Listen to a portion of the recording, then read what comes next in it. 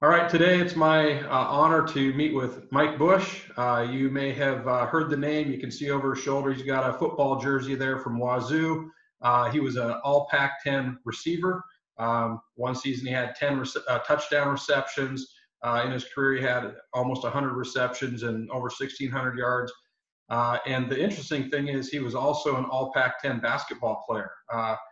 finished in their top four all time in, in steals. Um, and to, to be able to be an athlete that can excel at that high a level in both and then had an opportunity to go on and, and uh, continue after college for a little while in both as well so um, but there's a lot more uh, to mike than than his athletic prowess and uh, um, so mike i'd like to hear what your background is um, personally and if you need to go back and talk about parents and grandparents and and and then specifically how race has played a role in your background. Whew, well, uh, first I'd like to say thank you, um, and I appreciate the opportunity. I was a little hesitant on um, really getting back to you and being a part of this. Uh, one because I'm, I'm, I'm pretty I'm pretty closed off. I don't share a lot of my my story and my background. Um, you know, even with my wife, which is pretty strange. Hmm. Um, love her to death, but I, I'm really guarded when it comes to things you know that I've went through in my life. Uh, one to try try to not to use it as a crutch, and two, just because I I, I just feel like I, I, leave the past in the past, and I've uh, as you'll see when I talk about kind of my life story, how um, I, have just tried to transition to the next phase. Um, and that's how I'm going to kind of break down my my history and the things that uh, I've went through. Uh, it's through phases. Uh, phase one, uh, grew up in Riverside, California. Um, great family, uh, mom, dad, older brother. Um, and I mean, through, through these experiences, uh, as we go through these phases, so let me take a step back, um, it's going to show kind of how I've, I've lived whew, probably 10 people's lives. I mean, I've seen so many different um, demographics and social economic and all those types of things. I've lived a part of each one of them, uh, which is why I feel like I can relate to a lot of our kids. And, um, you know, that's been a, a, bonus for me, obviously coaching, but also helping in our community. Um, so growing up in Riverside, California, um, my family actually was a black owned uh, on the racetrack, Adams Kart Track in uh, California. Uh, my great grandparents opened that in 1958 or 9, hmm. um, and it's still going today. Uh, a couple of my cousins, my aunts, my uncles have owned it at one point. My grandma owned it at one point, and it's just passed through our generation to generation. Mm. Grandma, uh, Grandma Helen, uh, she had, I think, 13 siblings. Mm. So, uh, in all in Southern California, so we have a ton of family down there in Southern California, and it it was really the modern family. Um, you know, nice house, uh, brother brother, um, aunts and uncles, cousins, everybody running around. Every second and fourth Sunday of the month, we would go down to the racetrack. All of our family members would be there. Uh, families would race and, and do stuff and compete versus other people in the community and people coming from Northern California. Um, and that that kind of led up to about 14 years old, and um, I used to race. Brother raced, uh, and and up until we were about 14, and 14 is when my brother left to go to school. So uh, he was a basketball player, played for Eisenhower High School, uh, who was actually one of the number one football teams in the state back then. So we used to take trips to college basketball games where my cousins would play high school games where we would watch my brother play, who uh, broke records at uh, Eisenhower High School and then went on to play at Seattle University um, and, and had a great career there also and had some opportunities after that. Uh, when he was leaving, um, and, and, you know, I don't know if I, I created this scenario in my, in my mind, but um, it was like my parents said, well, he's gone. We're, we're gonna we're gonna take a break, and my parents got a divorce. Mm. Um, to me, it felt like they were okay that they had made it that far and you know i was me. I'm five years younger. Um, he had left and then it was just me. And me and my brother have some difficulties at times because he lived that perfect life. He lived that life that you hear everybody dreamed of. You know, two parents, family, and uh, from age 14 on, I didn't live that life. Um, you know, I I went from, you know, phase two. I went from living in apartments, living in, living with my uncles, living with my aunt, my aunt Connie, living with my granddad, um, living in car, living in a hotel, um, all in the span of two years. It just like, and, and it kind of pushed me away from family hmm. um, because I, I, I, I look back and I, and I felt like family should have been there. And I don't know if it, they were there to, I mean, looking back at it, they were there, but in my mind and what was going on in my family and my immediate family, I, I felt like I needed to find something else. Mm-hmm and which led me down some different paths and and run-ins with police and things like that of that sort. Uh, nothing criminal, just mischief and, and not going to school. Um, I can tell you probably my freshman and sophomore year, I went to Rubidoux High School. I probably attended 10 days mm-hmm. uh, full. Mm-hmm. But uh, during basketball season, I was eligible. Mm-hmm. not a knock on them uh, just just was the life. It was it was what I did. I hung out with older group. Uh, we did plenty of things that I'm not proud of. Uh, we did some things I am proud of. Um, but you know that that's kind of phase two, and it was it was a grind. It was a grind. I mean, I had all kinds of older cousins and stuff like that that were just amazing. That I just kind of separated myself to. Um, I actually uh, was playing sports at the time, which to me, sports has been a vehicle for everything I've done in life.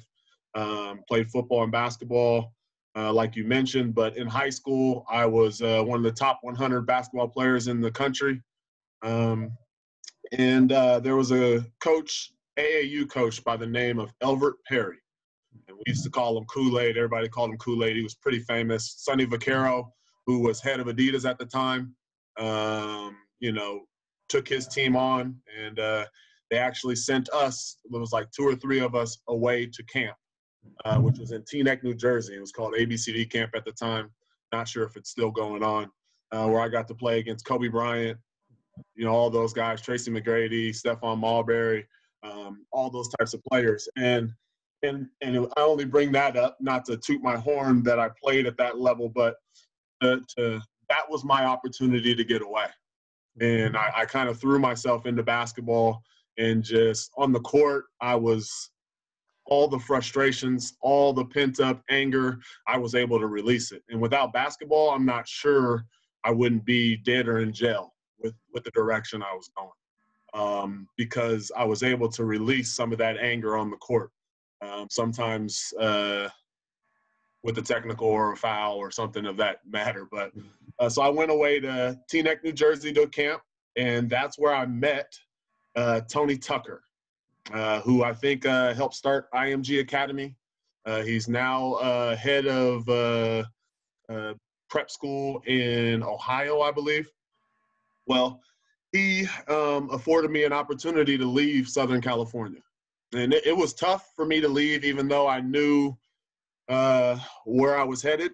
Um, but I packed up and left as a 15 year old. Went to boarding school. Um, I just recently have gotten reconnected with boarding school. Uh, boarding school, as was called Mercersburg Academy. Um, and it to, to give you a little bit of insight, it costs $62,000 a year to go to Mercersburg Academy.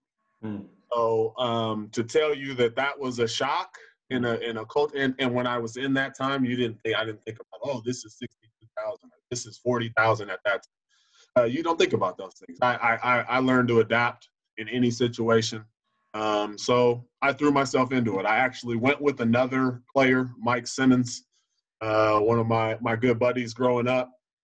So we both went to Mercersburg Academy. There were ten African Americans in Mercersburg Academy. Uh, my roommate and this is phase three. My roommate spoke five different languages. His mm-hmm. dad was a doctor in Africa. Uh, our rival high school, Chelsea Clinton, went to playing games on their campus with secret secret service and all of them surrounding the court and doing things to be able to keep her protected. Um, you know, and in this life, phase three life, I, I feel like opened my eyes to a lot of things. Mm.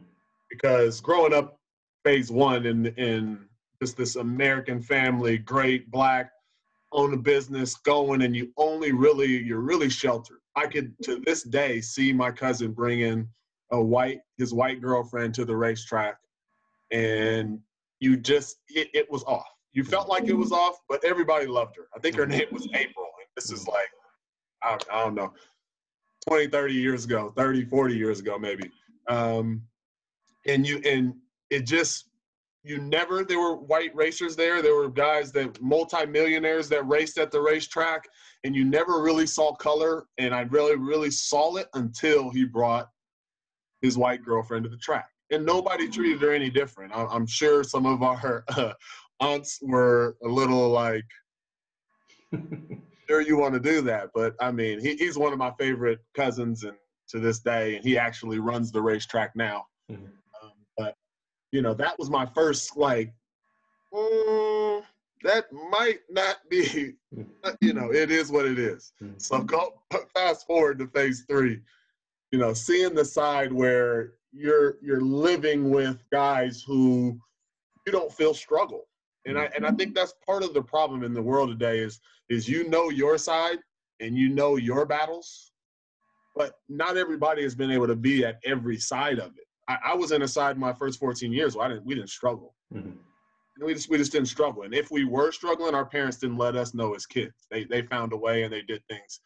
But we had our own beds, we had our own rooms, we built additions onto the house. We I mean we had it all. From what I felt like we had it all. Phase two, I had nothing. Mm-hmm. I mean, so I could see that side, and that's two years living living in places where there's five kids, kids laying on top of you, you living in the car. I mean, going from place to place. I can't imagine if I had to do that for 18 years. And I and I kind of have a part of that is still in me. Um, so you know that's two parts, and then moving and going to Mercersburg Academy where, whew, like everything is everything. I didn't I didn't come home for Thanksgiving. I actually took a trip um, with one of uh, my basketball players uh, on my team, and we went to North Carolina, and we went, and I went to UNC, went to Duke, went to a couple different schools in the area since they're so close, and then we pull up to his house. I, if I tell you, his door of his front of his house was literally probably bigger than my house. Wow. I mean, it was it was huge, and and and you you can't you kind of okay, yeah, okay, it's a big house. During that time, I was just you know, this is my buddy. This is what we're doing. We're going. They've taken me in for Thanksgiving. We got basketball games uh, coming up in a couple weeks. But this family was amazing. So at Mercersburg Academy, you know, there was an underlining sense of racism. Mm-hmm.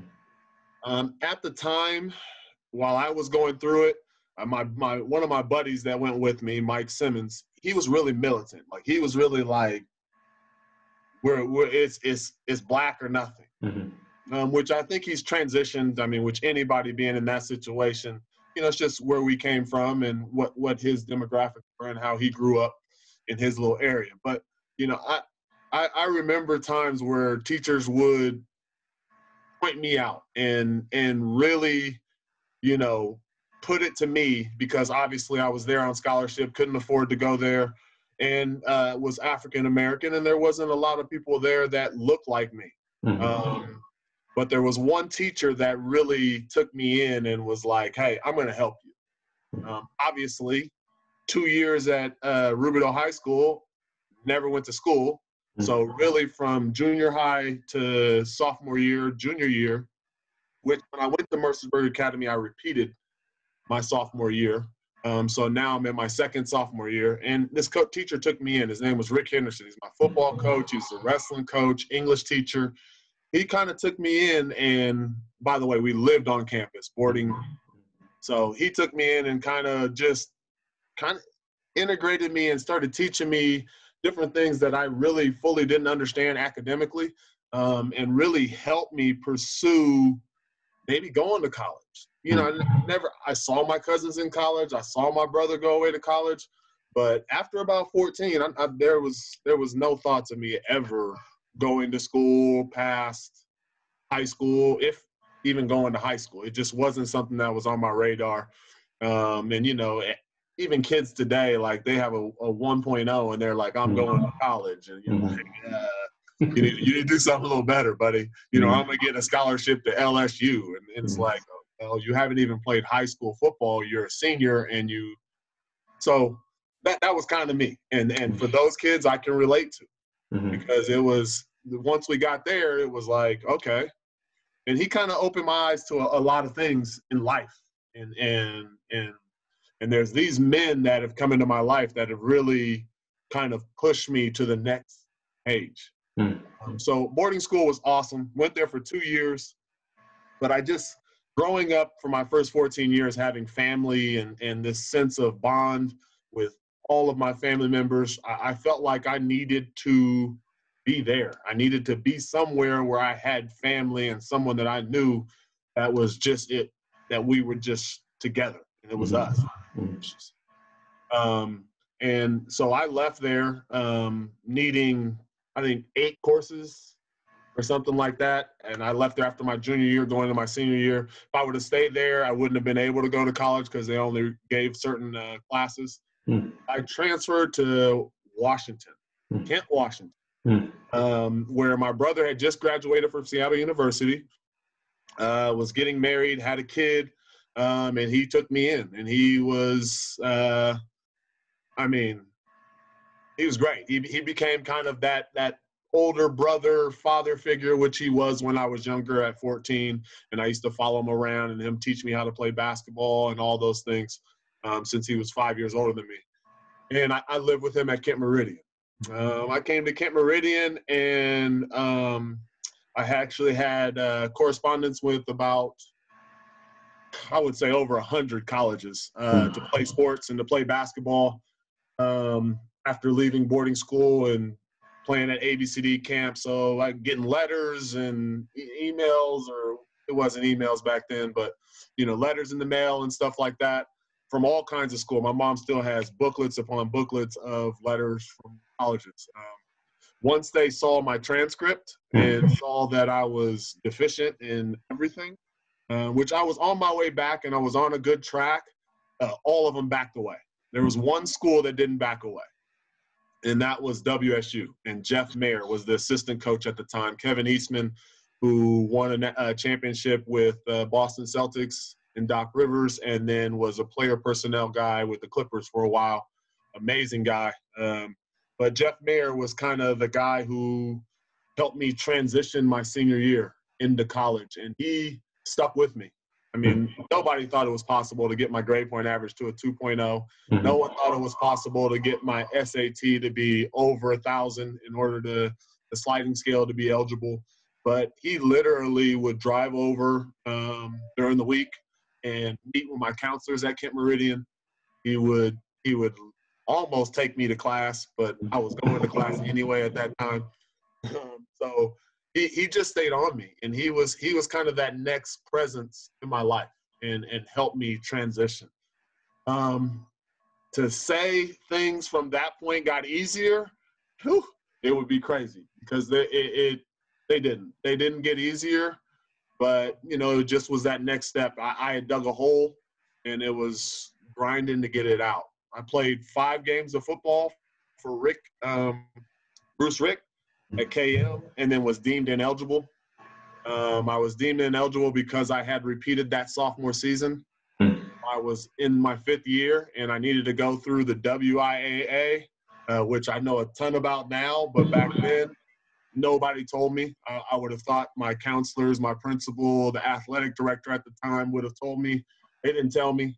Um, part of the reason I was suspended, which I look at, is because I mean, I played four or five games and I had 10 to 15 touchdowns. Mm-hmm. Um, and, you know, it, it, if I wouldn't have did anything, I'm sure I would still have been eligible. Mm-hmm. Um, but, you know, that, that, it is what it is. I, I decided, okay, I'll adapt and I'll move forward and I'll figure something else out.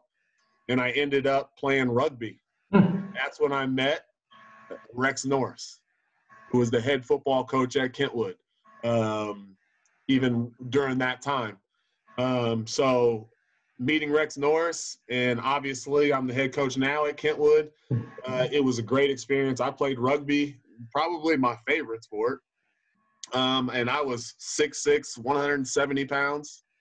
Um, but you know, just that that type of grind and and physicality, I just I, I love it. I, I played basketball that way. Um, as you said, I'm was fourth in the steals. I mean, I'm just in your face. Go get it. Let's go. Let's get after it. Don't matter where we're at. Play on the blacktop. You know, and that that kind of transitioned me out of high school.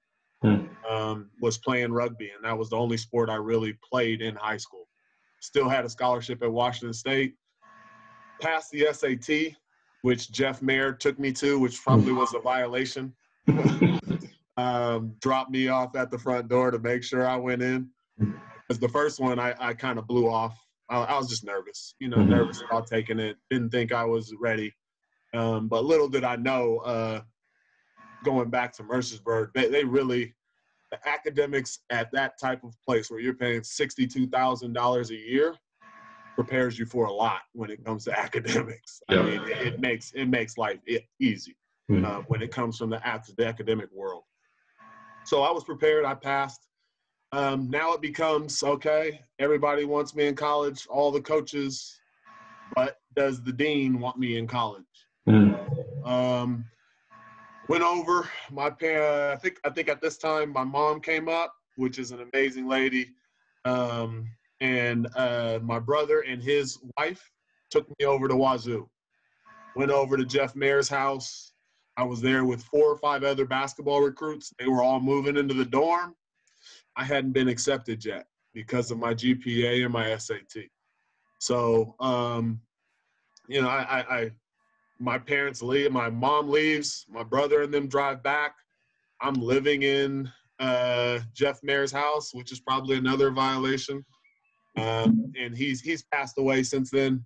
Um, but I'm living in his house, and he is talking to administration, um, and I basically I have to go in front of the president of the university to let them know why I deserve to be in school, mm-hmm. why I should be afforded these opportunities to to pursue um, athletic and academic success at the university.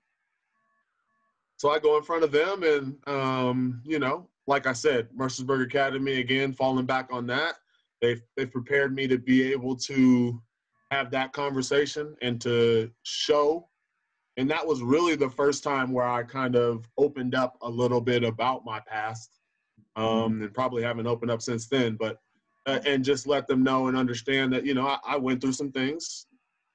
Obviously not as bad as some people and not as great as others but you know and and they let me into school. Mm. and, um, obviously through that it was a different experience and a different type of lifestyle. And then leaving there, going to Europe and being in Europe for a year and a half um, was another dynamic and another lifestyle where, you know, it just, you know, those those different phases in my life have just opened me up to have a different view of a lot of things that are going on in the world that I don't think some people fully accept from the African American community and from the other side and other nationalities where they they they kind of are passing each other in their thoughts. Mm-hmm. Some are really trying to help, some are not trying to help. And, and it just I feel like I have a unique sense and view of things that are going on. Obviously,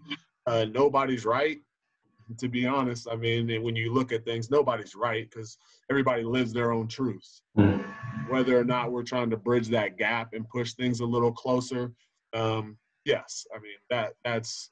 I mean, through my life, I've seen obviously both sides, and I've seen where the academics part lets a person down um, in Southern California, where you know you go to this school and there's there's I mean, there's no way to fail. Mm-hmm. Literally live on the floor where your teacher's at. Mm-hmm. I mean, so you're walking down the hallway and they're like, "Hey, man, did you do your English?" You know what I mean? Did you got this tomorrow, and where you're at another institution where it's like, hey man, you you gonna win the game tonight? You know, it's a, it's just a different conversation, and it's not all inner city schools that are like that. And I didn't live really in the inner city, but Riverside, uh, California, um, it's just a totally different dynamic, and it's what you know they mean well. They mean well, but they're trying to relate to you on what you find important. Right. And when you when you only are narrow-minded as a student with sports is what I find important, that's the only place where they can meet you. Your only hope is that they drag you towards something that is going to be a little bit more structural in academics and in taking care of your business and being on time and things like that. And those are the types of things that we try to do at Kentwood. Um, is and that's why one of our uh, monikers is developed here. We, we, we understand everybody's going to be in all different places, but our goal is to develop them where they're at and develop them within Kentwood and push them to success after Kentwood. I would tell you, you know, when I first went into Kentwood, I would have thought I was a player's coach. Mm-hmm. Um, but a lot of my players dislike me during football and during school because I, I'm I'm up their butt. Mm-hmm. I understood and I understand what I needed when I was that age, and probably to a default because there's times when I probably don't need to be all up in their butt. I'm in their butt anyway. Mm-hmm. And then leaving high school, you there's a majority of them reach back out, and a majority of them say, "Man, I needed that." I mean, some of the ones that I was on the toughest are the ones that I'm closest with past after, um, just because it's it's it's those things that they needed in order to be successful. And my goal is to meet them where they are. So if it's a pat on the butt, it's a pat on the butt, which I've learned three years removed from my first year at Kentwood. And sometimes some kids need fairy dust. Yeah. Yep. need to be sprinkled. So yep. that's kind of my journey. Yeah. Um, you know, at, at, one point I thought about writing a book. I, I got a, a million stories um, throughout my childhood through college. Um, obviously, some sports related, some just street related, and some Mercersburg Academy related, where some of those kids go through more than I went through as an African American growing up. Some of the rich white kids, I mean, in the infirmary, in, in the infirmary, um, for doing hardcore drugs at 15, 16 years old, uh, getting expelled from four or five schools, and everybody says, "Oh, they're just acting out. They don't have any, you know, they don't have no reason to be." And and they do. I mean, they, they have a they have a story. They have a, a, a thing that they have to fight through and they have to grind through that weighs them down, just like I have a story and I have something that I need to fight through. But we all have stuff that we have to fight through. Mm-hmm. For some people, maybe it's a little tougher. And I, I can't say for all people of one color it's tougher, and I can't say for all people of one color it's it's easier. Right. They just have different. They have different struggles. Yeah. You know. So let me. Um, so phase one is kind of everything's great, right? Families together, everybody's happy. Uh, phase two, and it just happened like overnight, basically, right? Yes. Your world's turned upside down, and um, now you're in a home where you don't even know if family's got your back. And you, looking back now, you know they did, but you didn't feel it right? And and Not perception perception's reality at that time. It, it, definitely is. Right. And then you know you get to go on to the academy and and expectations and things are high and you have opportunities. Um, and uh, it prepared you for things, and then, and then you come back and, and live with your brother, and and um, so one one constant was you know athletics was an avenue for you, yeah. um, which is a huge blessing. Yet at the same time, can you touch on uh, you know, going back to the high school in California, like, hey, you're going to win tonight. Um, yeah.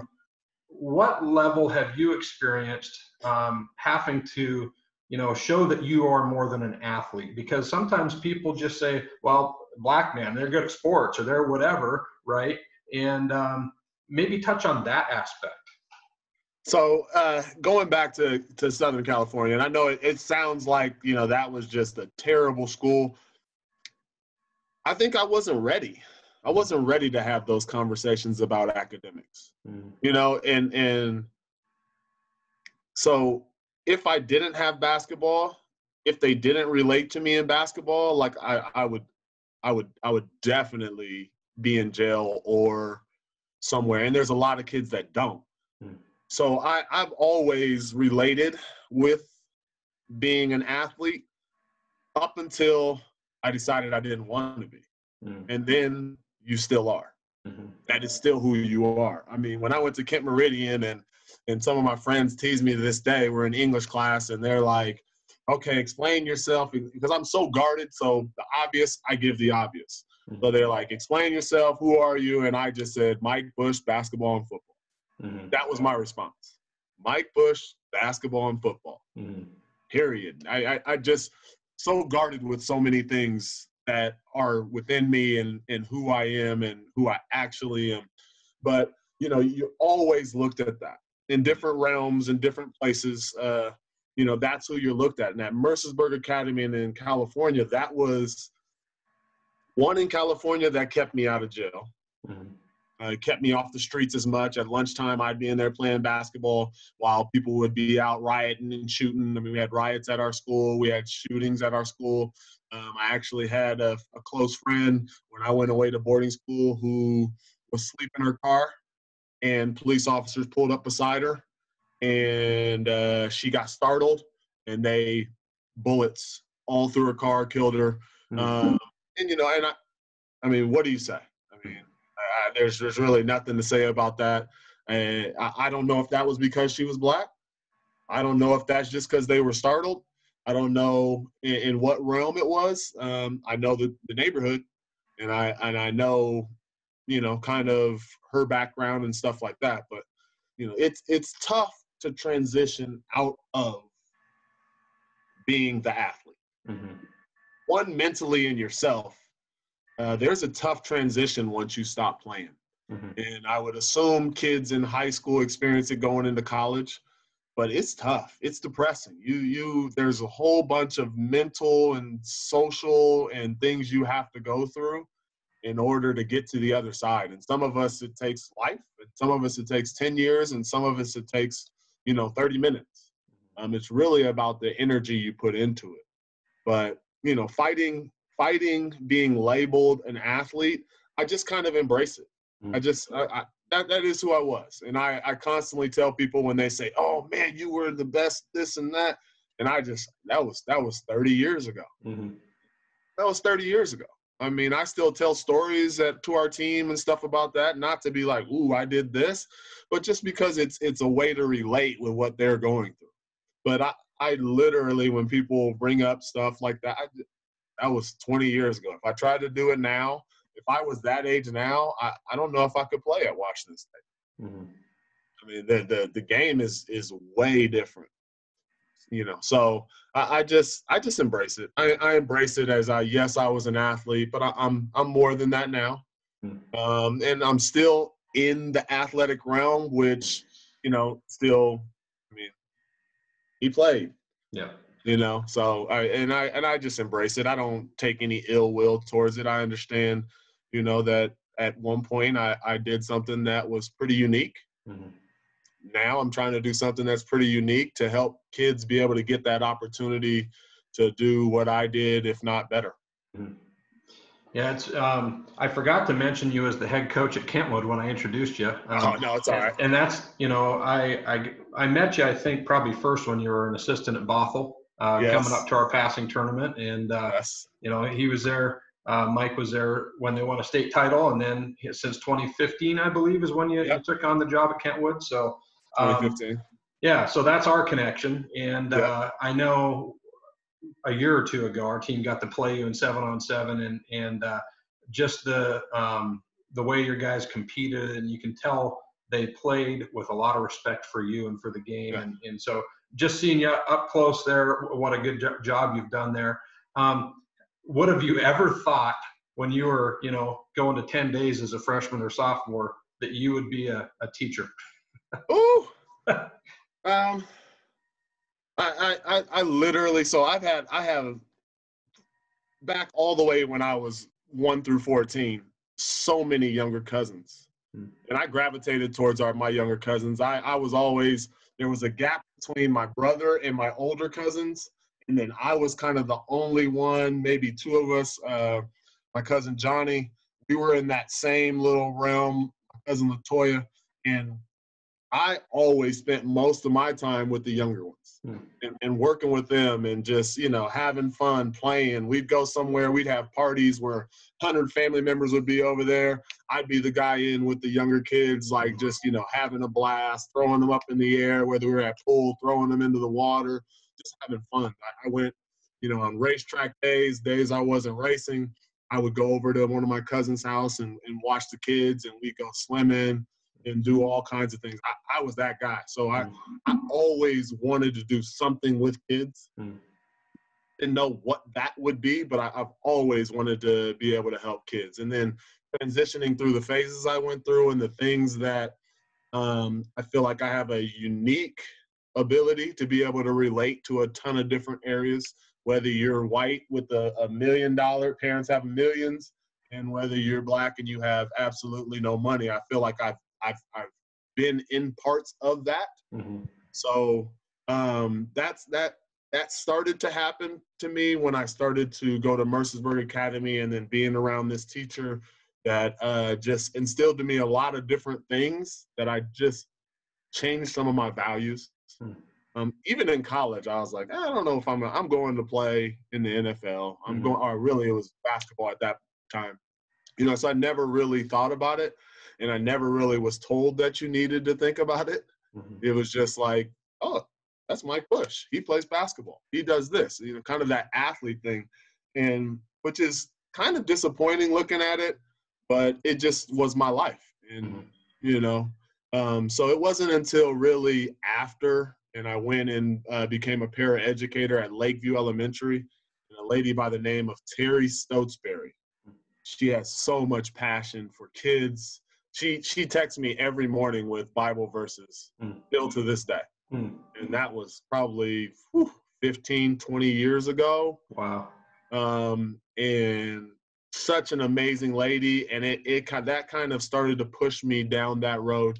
And then going to Bothell and uh, working with Coach Bainter um, and just seeing his effect and his his presence with the kids and then building my own little presence with our wide receivers mm-hmm. um, and kind of mentoring them through things and working with them through things just I, I knew that that was something that i wanted to do long term and i want to just help and provide and what better place than to do it where i feel like gave me that next step in kent. Yeah awesome. What uh, you, you touched on going to europe. Um, can you relate um, maybe what you saw in how people address race in Europe as opposed to what you've uh, experienced in America? Uh, so I went. It's where I went. It was a melting pot. Um, I went to Luxembourg. Luxembourg. So in Luxembourg, uh, as at a young age, their kids start to speak English, German, French, Luxembourgish. I mean, it's right in between. Uh, the way I was explained it is it's I can drive east to west in about 45 minutes, north to south in about an hour. So it's really small. But you got France, you got Belgium, you got uh, Germany, all, and they used to conquer Luxembourg. Mm-hmm. But at one point, each one of them took over this country. Um, and so the inner inner city where I lived is like an old castle. And I mean, when you want to go see culture and things like that, I mean, obviously I've, I've been in DC and did those types of things, but culture back in Europe is it's old. Mm. It's old. It's old and it's beautiful and it's things that you it kind of just once again opens your mind to a lot of different things. But it's I feel like and where I was and I and my experience is it has to be different because I was playing basketball at the time. Mm-hmm. And when you're playing basketball there, everybody looks at you I'm like you're like, whoo, he's making millions when you're making pennies. Um, and you feel like, you know, but the people and the way they accepted me um, was was pretty similar to um, to here, but it just wasn't as like boom. It wasn't as in your face like you're African American, and and really, I wasn't African American there. I was American. Right. um, so um, you know, when you're talking about African American or African in uh, Luxembourg, you're thinking of French uh, Africans there who, you know, big population there, and that's what you're looking at. So I kind of stood out, Mm-hmm. But you know, I, was welcomed, and and you know, it took some getting used to. I brought my grandma over there, and she was kind of like taken back because we would go eat at a fondue restaurant, and they would have dogs walking through the restaurant, and you're like, oh. My grandma was if she wasn't she wasn't having that one. She was like, okay, we got to go somewhere else.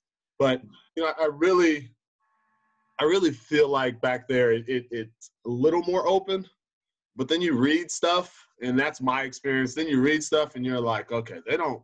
I wouldn't go today. Hmm. I wouldn't go today. I mean, I, I wouldn't. I wouldn't go. And I I had some opportunities after there to go to Argentina Mhm. to play basketball.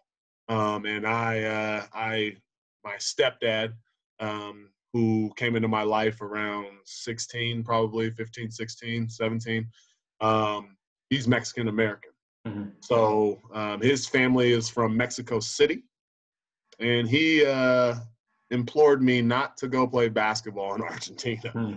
um, so I, I ended up coming here and playing here for a little bit but i mean i feel like it's kind of in- my experience it's not as like black white because i mean there's there's 50 different german french i mean in the Mhm. same area you know luxembourgish belgium you know i mean so there's so it's like a melting pot in where i was Right. when you to, when you when i go and visit other places you go france is french Mhm.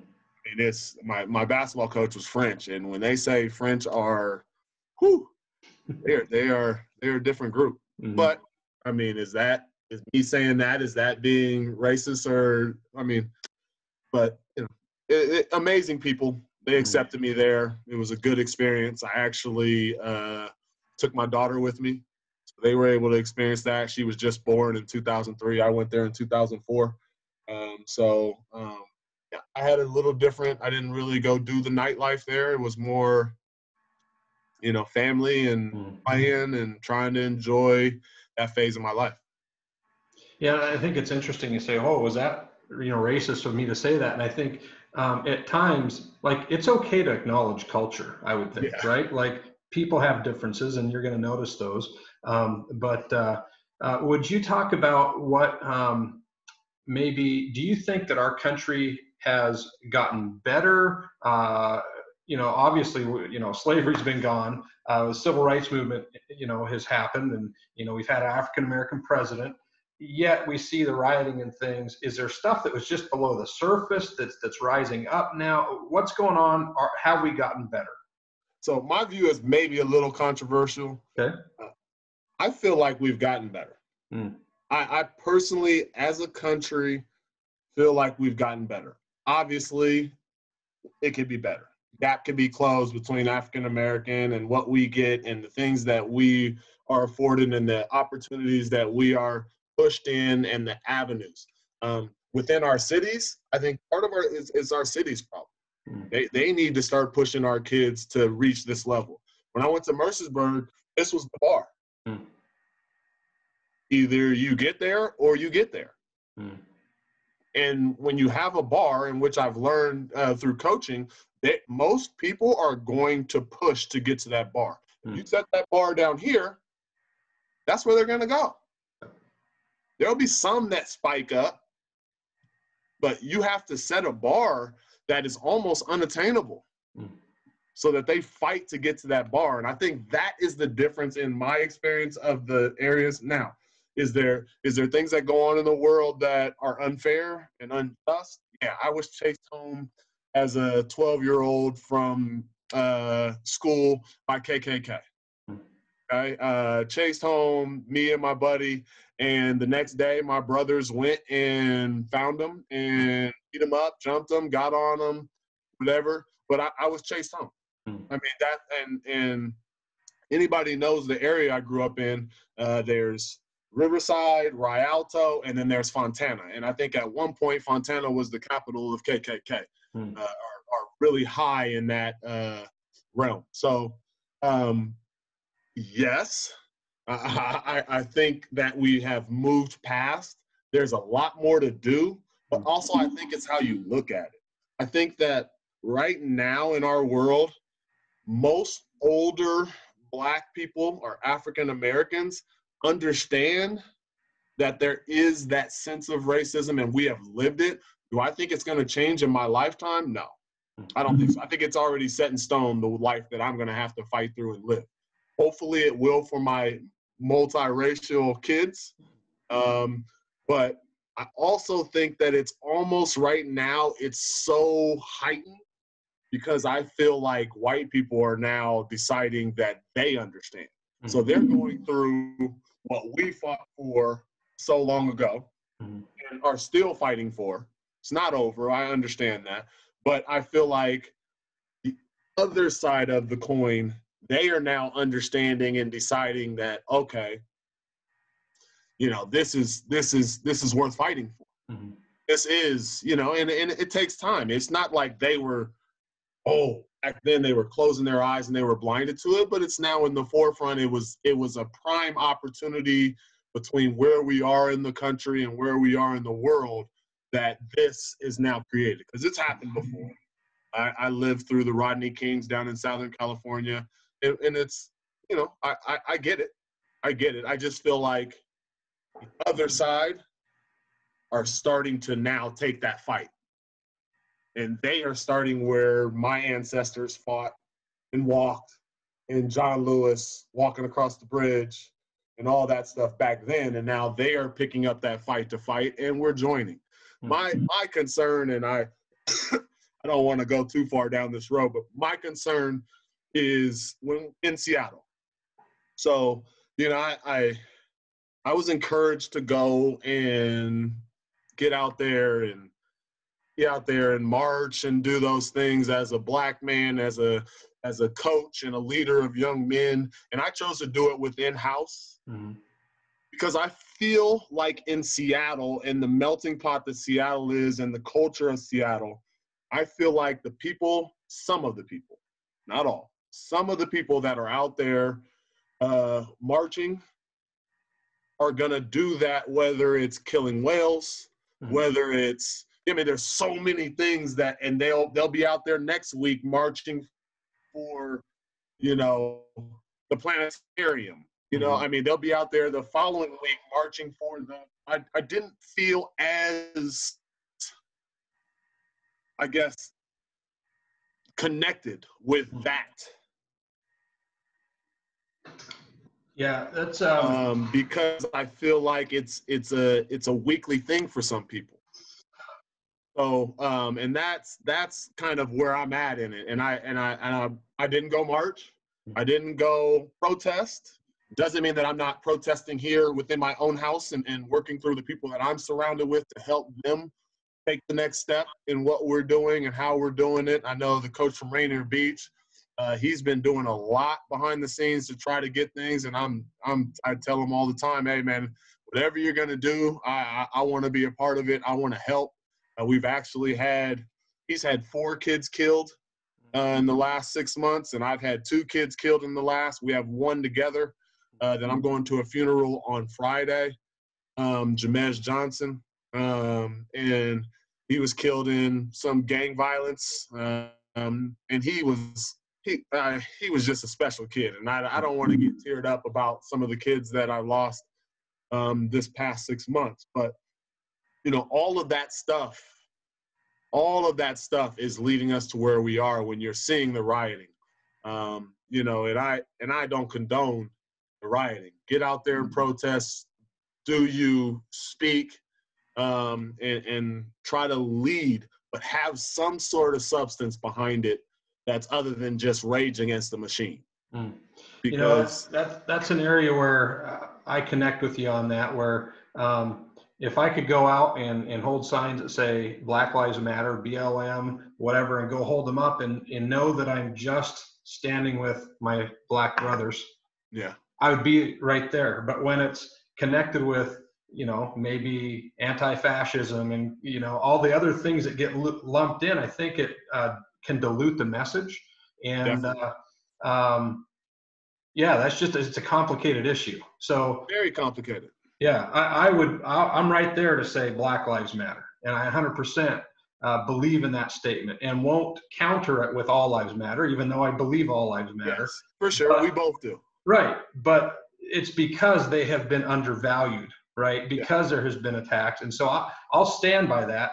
Yet I don't stand with the group, the yeah. official group behind Black Lives Matter, right? And I would say African American Lives Matter. Yes. Yep. I, I, there, there's a, there's a ton of stuff that we could get into, but I'm a I'm a African American Lives Matter. Doesn't yeah. discount the BLM movement. Doesn't mm-hmm. discount anything of that. But I I am coming from it from a totally different avenue. Right. And I, I think that obviously, like you said, all lives matter, and I shouldn't be ridiculed by saying all lives matter. Right. Um, you know, my kids are going to be recognized as black. They're half black, half Italian. Mm-hmm. Um, you know, but they're going to be recognized as black, and I get that. Mm-hmm. But I, I want more than burning stuff down. I want more for them than going out and protesting. Um, I, I, want us to start helping change our inner cities, and that's why I think uh, the head coach over there at Rainier Beach, um, I think that's our inner city. Uh, KM, you could say, probably is a little closer to inner city nowadays. Um, when I went there, KM was like Kentwood is now, and it's transitioning. It's transitioning into multicultural, multi-diverse, socioeconomic statuses up and down. Um, and and we, with the new principal, Miss Ketover, uh, she's done a great job of helping us transition through that time and transition into having more African Americans in roles where we can help. And she's been so supportive and she's all about the the person. Right? Not the black person, not the white person, not the girl, not the guy, not the, you know, LGBTQ.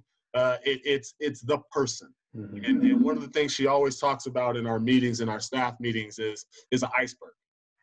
A lot of people see what's on top of the water but but nobody really knows what's going on underneath. And that's mm-hmm. something that really has connected me. When she first got there, I was a little okay. I really like the last principal. Assistant principal hired me, you know, but, but at, when you start to hear her talk and you start to be able to now going on year two, going on year three, you know, you start to understand that okay, she she she is living what she's talking about. This isn't just like something she put in a PowerPoint mm-hmm. that she wants to to say to us because the district said she needed to say it. This is something mm-hmm. that she really feels. Mm-hmm. So that's exciting.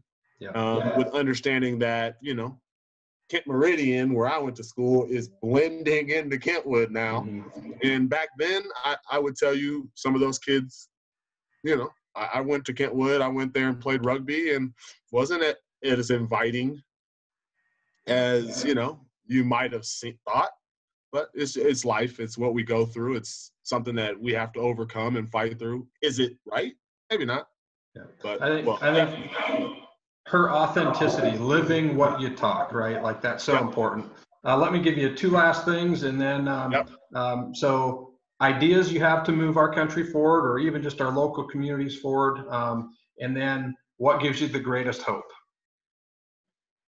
um, the, what gives me the greatest hope, I'll start with, is is that it it is being seen. Uh, it is at the forefront. Um, there is, I mean, there's not a lot of solutions being thrown out right now, but usually after the fires, and and I don't mean that as go burn something down, but after the initial, you know, like yeah, we're gonna go out here, then people in academia start to understand and start to start to put things into place. And one of our biggest things is just not allowing not allowing people that run the country to be able to dictate and us dictate the people. The people have to dictate where we're going and how we're getting there. The the seeing multi uh, cultures out there and multi ethnicities out there pushing for racial justice lets me know that it's possible. Mm. Um, lets me know that okay, that is something that's going to happen long probably after I'm gone, but understanding that we are headed in that direction. We are moving in the right direction instead of moving in reverse. Um, and one thing that I I I want to do as a as a person and as a coach and as a black male is is tell more of my story. It's really it's really the only reason why I, I got on this call. Um, one because uh, I respect you and I respect the things that you have done um, and are trying to do. Um, but two, just just to to kind of make myself vulnerable. And I think if more people make themselves vulnerable, more people will be able to accept and know kind of the different cultures. I think we're all so guarded that when I go into even into my wife's uh, in-laws, Mhm. I'm quiet. Mhm. I, I don't talk. I don't. I don't really interact, and they take it as you know angry Mhm. and I'm not angry. I just I, I'm so guarded with my feelings that if I express my feelings and you try to use them against me, it just kind of closes me off. Mhm. Um, I, I used to work for uh, some academy um, where I've had people say, um, you know, oh man, he, he's acting a certain way around them and then a certain way around them, and I, I don't say anything. I don't respond. Mhm. But in that in that to me is the definition of you know that racism and just pushing not that you mean it that way Mhm. but yes around around other black males who i have one thing that i don't have in common with you Mhm. i can can open up and be a little bit more of myself Mhm. and then in different realms. I, i've learned throughout life and throughout my phases that when you're in that you, your your behavior has to be a certain way and you have to act a certain way. It's not me being fake. It's just adapting to your surroundings and understanding what it means to be able to survive. Not everything has to go against i'm gonna i'm gonna sag my pants because you know I, that's just what i did in california. No i'm gonna pull my pants up i'm gonna put a belt on i'm gonna tuck my shirt in i'm gonna wear a collared shirt mm-hmm. i'm gonna i'm gonna eat dinner with the prefect of the univer- of the academy and i'm gonna be respectful. I'm a yes sir no ma'am i mean all the way through. It doesn't mean that i'm discounting where i came from. It just mm-hmm. means that I understand where and when to have that part of me. And all those are parts of me. All those are parts of me. But there are times when you can't just be crazy or can't just have fun. You can't be in the middle of class while teacher's teaching and I'm helping students and just be like, hey, you know, you know, that's just not a time for that, no matter if that's me or not. So that that really has irked me to this day, Mhm. and I haven't had a conversation with that person, but um, you know, it just it just pushes you away from things like that, and it's things like that that really kind of that is what I I I hope for people to understand that comments like that towards black males because we do act a little different around certain places. If I go to a coach's conference, I'm going to be a certain way.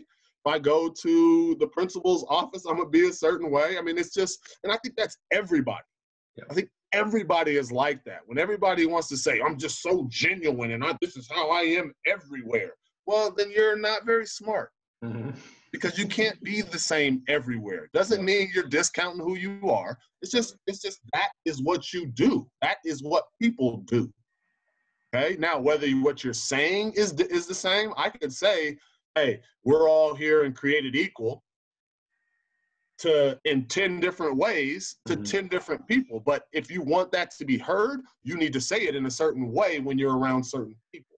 And that Exactly. is that is what really has gets me kind of fired up with what what's going on and because that has always been a knock on african american males is that is that part when you're so when you're successful and you're on here you well he has a tie on and he's a, he's not acting black and he's not well i mean what is acting black Mhm. what is it like like please explain it to me because if you want acting black for me to be sagging with my pants down with a do-rag hanging out of the back of my pants then there that's the problem Mhm. that's the problem that that is an issue.